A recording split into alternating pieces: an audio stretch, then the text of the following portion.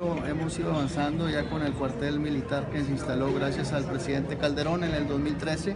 y le digo que estamos por eh, terminar 65 unidades habitacionales para las familias de la Sedena que pues van a generar una derrama económica importante y sobre todo la seguridad porque los hijos de los soldados van a estar en las escuelas de nuestro pueblo y eso pues obviamente genera seguridad para nosotros.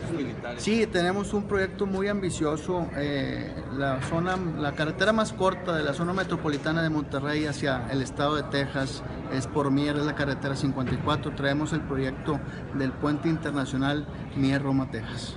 Eso generaría obviamente una derrama, eh, económica súper importante en el municipio